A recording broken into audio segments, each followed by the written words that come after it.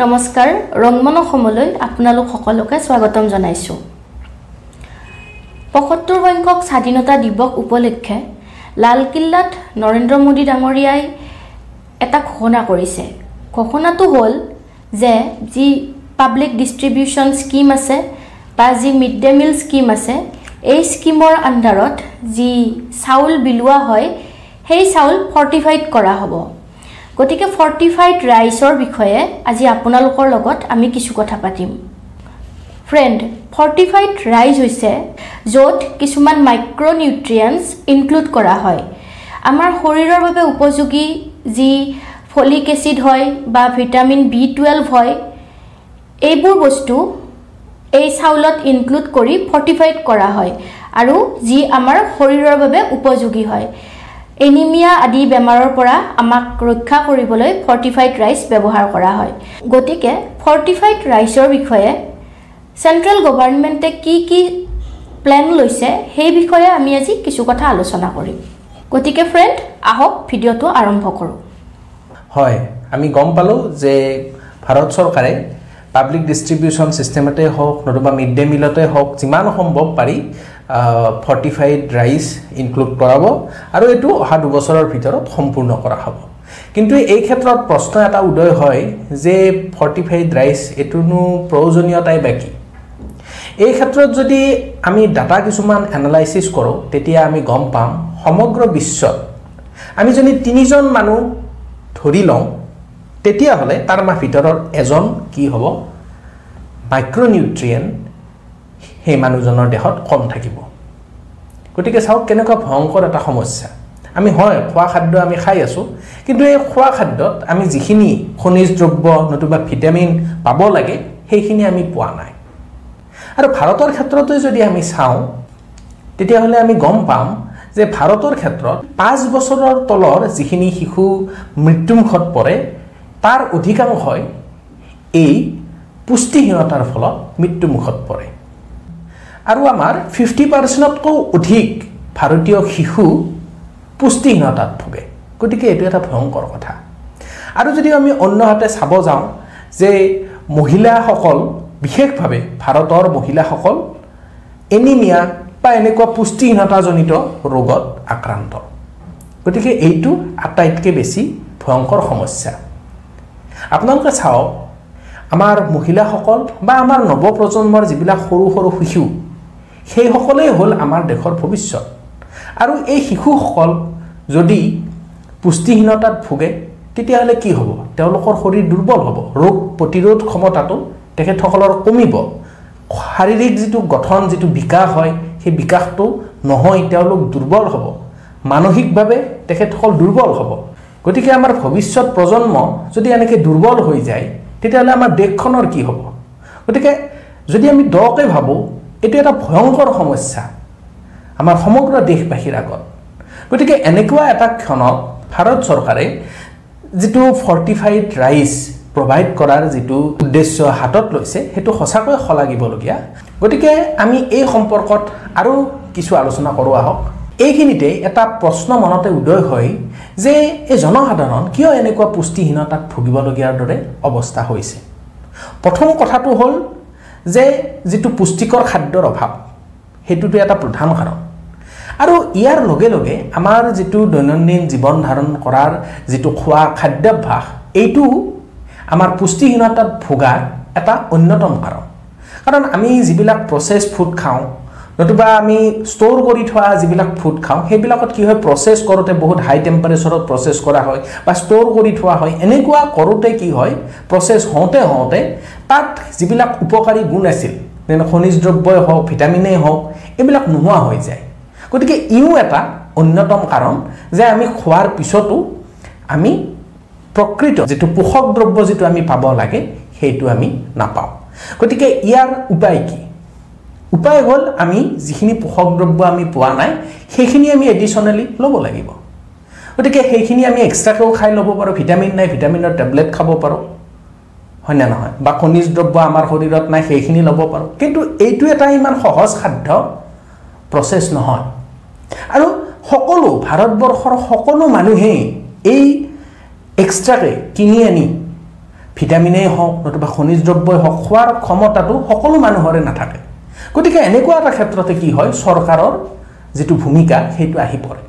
গতিকে চৰকাৰে এনেকুৱা কিছুমান স্কীমেই হওক বা প্ৰগ্ৰামেই হওক হাতত লৈছে যে যিবোৰৰ সহায়ত যিখিনি সাধাৰণ মানুহখিনি যিখিনি চাউল খায় সেই চাউলখিনিত যদি আমি এডিশ্যনেলি যিখিনি খনিজ দ্ৰব্যৰ প্ৰয়োজন সুস্থ মানুহ এজনৰ দেহত নতুবা যিখিনি ভিটামিনৰ প্ৰয়োজন সেইখিনি যদি আমি সেই চাউলখিনিত দি দিয়া যায় কাৰণ চাউলটোতো চবেই খায়। তেতিয়াহ'লে কি হ'ব? ভাৰতবৰ্ষত সকলোখিনি মানুহেই সমানভাৱে এই পুষ্টিকৰ দ্ৰব্যখিনি পাব আৰু ভাৰতৰ পৰা পুষ্টিহীনতাটো নোহোৱা হৈ যাব। গতিকে এইটো এটা সঁচাকৈ শলাগিবলগীয়া পদক্ষেপ। আৰু এই ক্ষেত্ৰত যদি আপোনালোকক ক'ব খোজোঁ যে যিটো এইটো ইনিচিয়েটিভ যিটো লোৱা হৈছে এইটো অকল ভাৰতবৰ্ষতে নহয় ভাৰতবৰ্ষই এই পদক্ষেপ লোৱাৰ বহুত আগৰে পৰাই পৃথিৱীৰ অন্যান্য দেশত এই ফৰ্টিফাইড যিটো ফুড হয় ইয়াৰ প্ৰচলন বহুত আগৰে পৰাই আছিল। আৰু ভাৰতৰ ক্ষেত্ৰতো যদি আমি ক'ব যাওঁ তেতিয়াহ'লে এই ফৰ্টিফাইড ফুডৰ প্ৰচলনটো বহুত আগৰে পৰাই চলিছে উদাহৰণস্বৰূপে যিটো আমাৰ খোৱা মিঠাতেল হয় সেই মিঠাতেলটো প্ৰায় নাইনটিন ফিফটি থ্ৰী চনমানৰ পৰাই ফৰ্টিফাইড কৰা হৈছিল। অৰ্থাৎ মিঠাতেলৰ লগত এ ভিটামিন আৰু ডি ভিটামিন মিক্স কৰি দিয়া হৈছিল। সেনেকৈ চলি আহিছে। প্ৰায় নাইণ্টিৰ দশক মানৰ পৰা কি হ'ল? যিটো নিমখ আমি খাওঁ আপোনালোকে নিশ্চয় শুনিছে আয়ডিনযুক্ত নিমখৰ এডটো গতিকে প্ৰায় নাইণ্টিৰ দশকৰ পৰাই কি হ'ল নিমখখিনিকো ফৰ্টিফাইড কৰি দিয়া হ'ল। তাৰপিছত টু থাউজেণ্ড যেতিয়া আহিল টু থাউজেণ্ডৰ পিছত যিটো খোৱা হুইট আছে সেই হুইটো কিছু কিছু ৰাজ্যই ফৰ্টিফাইড কৰা আৰম্ভ কৰিলে। আৰু দুহেজাৰ ষোল্ল চনৰ পিছৰ পৰা ভাৰত চৰকাৰে এইটো এটা অতিকে গুৰুত্ব সহকাৰে লৈ চাউলক এনেকুৱাকৈ ফৰ্টিফাইড কৰি যোগান ধৰাৰ আঁচনি হাতত ল'লে। গতিকে আপোনালোকে দেখিলে যে অকল এইটো নতুনকৈ হোৱা কথা নহয় আগৰে পৰাই এইটো চলি আহি আছে। এতিয়া আপোনালোকৰ মনত হয়তো আন এটা প্ৰশ্ন উদয় হ'ব যে ফৰ্টিফাইডনো কৰে কেনেকৈ চাউলক? এতিয়া কোনোবা এটা বস্তুত অইলটোৱে হওক আপোনালোকে জানে যে তাত যদি আমি মিক্স কৰি দিওঁ মানে অইলত যিটো ডিজল্ভ হয় যিটো যিবিলাক ভিটামিন সেনেকুৱা যদি আমি তাত মিক্স কৰি দিওঁ সেইখিনি ফৰ্টিফাইড হৈ যাব। বা নিমখৰ লগতো আমি মিক্স কৰিব পাৰোঁ। কিন্তু চাউলটো কি হ'ব? চাউলটোতো আমি ৰন্ধাৰ আগততো চাউলটো ধুই লওঁ। গতিকে আমি যদি এনেকুৱা পাউডাৰ কিবা এটা যদি দি দিওঁ তেতিয়াতো ধুলেতো গুচি যাব। গতিকে চাউলটোনো কেনেকৈ ফৰ্টিফাইড কৰা হয়? এই ক্ষেত্ৰত আপোনালোকক কওঁ যে প্ৰচেছটো হ'ল চাউল যেতিয়া মিলত ধানৰ পৰা যেতিয়া চাউল হয় তেতিয়া কি হয়? চাউলৰ সৰু সৰু টুকুৰা কিছুমান ভাঙি যায়। সেই ভাঙি যোৱা টুকুৰাবিলাক ৰ মেটেৰিয়েল হিচাপে ইউজ কৰা হয়। আৰু এই ভাঙি যোৱা চাউলৰ সৰু সৰু টুকুৰাবিলাক ভালকৈ গ্ৰাইণ্ড কৰি কিনে একদম গুড়ি কৰি পেলোৱা হয়। তাৰপিছত কি কৰা হয় তাত সেই গুড়ি যিবিলাক থাকে চাউলৰ সেই গুড়িবিলাকৰ লগত যিখিনি মাইক্ৰনিউট্ৰিয়েণ্ট যিখিনি এড কৰিব বিচৰা গৈছে আইৰণেই হওক ফলিক এচিডেই হওক ভিটামিন বি টুৱেলভে হওক সেইখিনি তাত লেয়াৰ বাই লেয়াৰ মানে সেই গুড়িখিনিত মিক্স কৰি ধুনীয়াকৈ দিয়া হয়। তাৰপিছত কি কৰা হয় এটা এক্সট্ৰুজন মেচিন এটা থাকে। সেই এক্সট্ৰুজন মেচিনটোত সেইবিলাক গুড়িবিলাক ভৰাই দি কিনে চাউলৰ চেপ দিয়া হয়। একো একোটা চাউলৰ চেপ দিয়া হয়। তাৰপিছত সেই চাউলখিনি যেতিয়া হ'ব মেচিনটোৰ পৰা যেতিয়া চাউল হিচাপে ওলাই আহিব তাৰপিছত কি হ'ব? সেইখিনি ড্ৰাই কৰা হয়। ড্ৰাই কৰি কিনে তাক আকৌ কিবা বেয়া তাত বস্তু থাকিব পাৰে আকৌ ফিল্টাৰ কৰা হয় বা চালনি দি চালা সেইটো মেচিনৰ চালনি হ'ব। গতিকে সেনেকৈ যিখিনি বেয়া তাত দ্ৰব্য হয়তো থাকিব সেইখিনি গুচাই দিয়া হয়। তাৰপিছত তাত কিবা মেটেলিক বস্তু হয়তো থাকি যাব পাৰে পাৰ্টছ গতিকে তাত কি কৰা হয় মেগনেটিক যিটো ফিল্ডৰ মাজেদি যাব দি সেইবিলাক ছেপাৰেট কৰি পেলোৱা হয়। তাৰপিছত এনেকৈ পূৰা পিউৰিফাই কৰি কিনে সেই যিটো ফৰ্টিফাইড চাউলটো লোৱা হয়। আৰু সেই ফৰ্টিফাইড যিখিনি চাউল থাকিব সেইখিনি চাউল কি হ'ব? যিখিনি নৰ্মেল চাউল হয় সেই চাউলৰ লগত এটা নিৰ্দিষ্ট ৰেচিঅ'ত মিক্স কৰি দিয়া হ'ব। তেতিয়া কি হ'ল? নৰ্মেল চাউলটো থাকিল আৰু তাৰে লগত কি হ'ল? এক নিৰ্দিষ্ট ৰেচিঅ'ত এই ফৰ্টিফাইড চাউলটোও থাকিল। আৰু দুটাই যেতিয়া মিক্স কৰি দিয়া হ'ব তেতিয়াহ'লে যিটো আমি যিটো ভাত পাম চাউলটো বনাই ৰন্ধাৰ পিছত একো ডিফাৰেঞ্চ নাথাকে মানে।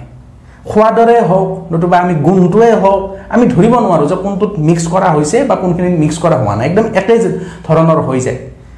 আমি ধৰিব নোৱাৰোঁ। গতিকে এনেকুৱা ধৰণৰ চাউলটোকে আমি কি কওঁ? ফৰ্টিফাইড কৰা বুলি কওঁ। গতিকে কি হ'ল? আমি এই প্ৰচেছটোত কি কৰিলোঁ? যে নৰ্মেল যিটো চাউল আছে তাৰ লগত আমি এই পোষক দ্ৰব্যখিনি যোগ কৰি ফৰ্টিফাইড চাউলটো আমি তৈয়াৰ কৰিলোঁ। আৰু এই চাউলটো যোনে খাব তেওঁ গোটেইখিনি মানে যিখিনি দ্ৰব্য আমাৰ শৰীৰত খনিজ দ্ৰব্যই হওক ভিটামিনে হ'ব সেইখিনি তেওঁ সেই চাউলটোৰ পৰা প্ৰায় পাই যায় আৰু ভাৰতৰ ক্ষেত্ৰত যদি আমি চাব যাওঁ গড় হিচাপত ভাৰতত প্ৰতি এজন মানুহক পাঁচৰ পৰা ছয় কিলোগ্ৰাম চাউল এক মাহত দৰকাৰ হয়। গতিকে আমি যদি চাওঁ সমগ্ৰ ভাৰতবৰ্ষতে যদি এনেকৈ যদি চাউল ফৰ্টিফাইড কৰি যদি দিব লগা হয় তেতিয়াহ'লে প্ৰায় তিনিশ লাখ মেট্ৰিক টনৰো ওপৰত আমি চাউল ফৰ্টিফাইড কৰিব লাগিব। আৰু এই যেতিয়া ফৰ্টিফাইড কৰা যিটো প্ৰচেছ সেই প্ৰচেছটোত কি হ'ব? চাউলটোৰ নৰ্মেল চাউলৰ যিটো দাম তাতকৈ অলপমান দাম বেছি হয়। কিমান বেছি হ'ব? চল্লিছ পইচাৰ পৰা এক টকা বিছ পইচামানৰ ভিতৰত আমি এক্সট্ৰা কষ্ট দিব লগা হয় এজন মানুহৰ এদিনৰ চাউলৰ কাৰণে। গতিকে আপোনালোকে গম পালে যে ইমানো বেছি নহয় প্ৰায় এজন মানুহৰ একদিনৰ কাৰণে চল্লিছ পইচাৰ পৰা এক টকা বিছ পইচামানৰ ভিতৰত আমি এক্সট্ৰা হয়তো অলপ বেছি দাম মূল্য ভৰিবলগীয়া পৰিব পাৰে। এবাউট ফিফটি পাৰ্চেণ্ট ওমেন আৰু চিলড্ৰেনে আইৰণ ডেফিচিয়েঞ্চি ৰোগত ভোগা দেখা পোৱা গৈছে। আৰু এনিমিয়া হ'ল এনেকুৱা এটা বেমাৰ যি আইৰণ ডেফিচিয়েঞ্চিৰ ফলত হয় আৰু তাৰ ফলত আমাৰ শৰীৰত থকা আৰ বি চি কাউণ্টটো কমি যায়। আৰু যাৰ ফলত পৰ্যাপ্ত পৰিমাণে অক্সিজেন ফ্ল' কৰিব নোৱাৰে অক্সিজেন ছাপ্লাই হ'ব নোৱাৰে আৰু হিমগ্ল'বিনটো কমি যায় আৰু এনিমিয়াৰ দৰে ভয়ংকৰ ৰোগ এটা শৰীৰত সৃষ্টি হ'ব পাৰে। গতিকে এই এনিমিয়া ৰোধ কৰিবৰ বাবে যি আইৰণ ৰিচ ফুড হয় সেয়া লোৱাটো সকলোৰে বাবে জৰুৰী। আৰু যিহেতু আমাৰ চাইল্ড আৰু ওমেনখিনি এই মাল নিউট্ৰিশ্যনৰ চিকাৰ হৈছে গতিকে তেওঁলোকৰ বাবে ফৰ্টিফাইড ৰাইচটো খুবেই জৰুৰী। আৰু পি ডি এছৰ আণ্ডাৰতে হওক বা মিড ডে মিলৰ স্কীমৰ আণ্ডাৰতে হওক এই ফৰ্টিফাইড ৰাইচ যেতিয়া চাইল্ড্ৰেনকে হওক বা ওমেনকে হওক যোগান ধৰা হ'ব তেতিয়া হয়তো তেওঁলোকে এই এনিমিয়া আদি ৰোগৰ পৰা মুক্তি পাব পাৰিব। কিন্তু ইয়াতে এটা প্ৰব্লেমো দেখা পোৱা যায়। ধৰক এজন মানুহে যিমান কোৱাণ্টিটিৰ চাউল খাব আন এজনে হয়তো তাতকৈ কম খাব বা এটা শিশু বা এজন বৃদ্ধ মানুহে হয়তো কম পৰিমাণৰ চাউল খাব। গতিকে তেনেস্থলত হয়তো এই ফৰ্টিফাইড ৰাইচ যি আছে সকলোৰে তাত সমান পৰিমাণে শৰীৰলৈ নাযাবও পাৰে। গতিকে ফৰ্টিফাইড চাউলৰ ক্ষেত্ৰত এনেকুৱা প্ৰব্লেম দেখা পোৱা গৈছে। হয়। এই ক্ষেত্ৰত আৰু এটা কথা ক'ব পাৰি যে কিছুমান বিশেষজ্ঞই এই বিষয়েও মত পোষণ কৰিছে যে খেতিয়কবিলাকৰ কি হ'ব? যে যিবিলাক খেতিয়কে নিজৰ ঘৰতে চাউল উৎপাদন কৰে তেখেতসকলেতো মানে কি নিজৰ ঘৰত উৎপাদন হোৱা চাউলটোৱেই খায়। তেতিয়া তেখেতসকলৰ যিটো চাউল হ'ব সেইটোতো ফৰ্টিফাইড নহ'ব। যিবিলাক খেতিয়কে আমাক পুষ্টিকৰ খাদ্যৰ যোগান ধৰি আছে সেই খেতিয়কসকলেতো এই ফৰ্টিফাইড চাউলটো পোৱাত দিগদাৰ হ'ব। কাৰণ তেখেতসকলে নিজৰ ঘৰৰ প্ৰডাক্টটোৱে খায় যিটো ফৰ্টিফাইড কৰা নহ'ব। আৰু যদি মানি লওঁ যে তেখেতসকলে তেখেতসকলৰ চাউলটো অকণমান কম দামত বিক্ৰী কৰি দিলে আৰু বেলেগৰ পৰা ফৰ্টিফাইড চাউল এটা কিনি আনি খালে। তো সেইটো অলপ অন্যায়ৰ দৰে হৈ যায়। মানে নিজৰ প্ৰডাক্টটো কম দামত দিলে দি কিনে এটা মানে বেলেগ ফৰ্টিফাইড ৰাইজ এটা তেখেতসকলে অত্যাধিক দাম দি কিনে হয়তো কিনি আনিব লগা হ'ল। গতিকে এনেকুৱাও কিছুমান কথা আহি পৰে এই ক্ষেত্ৰত। লগতে আন কিছুমান বিশেষজ্ঞই এনেকুৱা ধৰণৰ মত পোষণ কৰে যে যিটো মাল নিউট্ৰিশ্যনৰ যিটো প্ৰব্লেম হৈছিল আগতে এইবিলাক সমস্যা খুব কম আছিল আগৰ সময়ত। কাৰণ তেখেতসকলে মত পোষণ কৰে যে পুৰণি সময়ত কি হৈছিল যেতিয়া আমি ধানৰ পৰা চাউলটো উলিয়াইছিলোঁ সেই চাউলৰ ওপৰত এটা লেয়াৰ এটা থাকে। সেই লেয়াৰটোতে যথেষ্ট পৰিমাণে ভিটামিন থাকে খনিজ দ্ৰব্য এইবিলাক থাকে। কিন্তু আজিকালি কি হ'ল চাউলটো বগা কৰিব গৈ কিনে আমি বেছি বগা কৰিব গৈ সেই ওপৰৰ লেয়াৰটোৱে আমি মিলত মানে সেই গোটেই লেয়াৰটোৱে আমি উঠাই দিওঁ। দিয়াৰ ফলত কি হৈছে ত' আমাৰ ভিটামিন এইবিলাকৰ অভাৱ অনুভৱ হৈছে। গতিকে যিটো মেথড আছে যে যিটো অৰিজিনেল যিটো লেয়াৰ এটা থাকিব লাগে চাউলটোৰ ওপৰত যিটো যথেষ্ট পৰিমাণে ভিটামিন থাকে বা সেনেকুৱা ধৰণৰ টেকন'লজি থকা মিল যদি আমি ব্যৱহাৰ কৰোঁ এনেকুৱা সমস্যাৰ পৰা আমি হাত সাৰিব পাৰোঁ। লগতে কৃষকসকলৰ যিটো সমস্যা সেইটোৰ কাৰণে আন এটা উপায়ো আছে যেনে আমি যিটো ফৰ্টিফিকেশ্যন যিটো কৰিছোঁ এইটো এটা পাৰ্মানেণ্ট চলিউশ্যন নহয় এইটো এটা হৈছে টেম্পৰাৰী চলিউশ্যন যে চাউলটোত আমি এক্সট্ৰাকৈ আমি দি দিছোঁ নিউট্ৰিয়েণ্টখিনি চ' এইটো এটা টেম্পৰাৰী চলিউশ্যন পাৰ্মানেণ্ট চলিউশ্যন কি হ'ব? আমি বায়' ফৰ্টিফিকেশ্যন কৰিব লাগিব। মানে এনেকুৱা কৰিব লাগিব জেনেটিক ইঞ্জিনিয়াৰবিলাকে এইটো ৰিচাৰ্চ কৰি কিনে যে চাউলটো যিটো মানে ধান গছডাল যেতিয়া গজিব বা তাত যিটো ধান লাগিব সেইটো ধানত এনেকুৱাকৈ জেনেটিক ইঞ্জিনিয়াৰিং মানে কৰিব লাগিব। তাত ইতিমধ্যে আগৰে পৰাই মানে যিখিনি আমাক নিউট্ৰিয়েণ্ট লাগে গোটেইখিনি তাত থকা ধৰণৰ হ'ব লাগিব। তেতিয়া কি হ'ব? খেতিয়কবিলাকৰো কোনো সমস্যা নহ'ব। অলৰেডি যিটো ধান তেখেতসকলৰ পথাৰত উৎপন্ন হ'ব সেই চাউলটোতে গোটেইখিনি নিউট্ৰিয়েণ্ট থাকিব। আমি টেম্পৰেলি এনেকৈ আৰু এড কৰিব নালাগে মাইক্ৰ' নিউট্ৰিয়েণ্ট গতিকে এনেকুৱা ধৰণৰ কথা কিছুমানো আছে। কিন্তু এইবিলাকৰ এতিয়া গৱেষণা চলি আছে। যথেষ্ট পৰিমাণে কাম হৈ আছে। এইবিলাকত কিন্তু সম্পূৰ্ণ ৰূপ এতিয়াও পোৱা নাই। হয়তো আৰু অনাগত ভৱিষ্যতত এইবিলাক হয়তো হ'ব এদিন হ'লেও। আমি তাৰে আশা কৰিছোঁ। আৰু আমাৰ ভাৰতৰ ক্ষেত্ৰত যদি আমি চাওঁ F S S A I অৰ্থাৎ food safety and standard authority of India বুলি এটা চৰকাৰী বিভাগ আছে। সেই বিভাগটোৱে ভাৰতত এই ফৰ্টিফাইড ফুডৰ বিভিন্ন ধৰণৰ ষ্টেণ্ডাৰ্ড ছেট কৰে ৰুল ৰেগুলেশ্যন এইবিলাক তেখেতসকলে মেইনটেইন কৰে বা আমাৰ এই গোটেই ছিষ্টেমটো ফুড ফৰ্টিফিকেশ্যনৰ গোটেই ছিষ্টেমটো তেখেতসকলে ৰেগুলেট কৰে।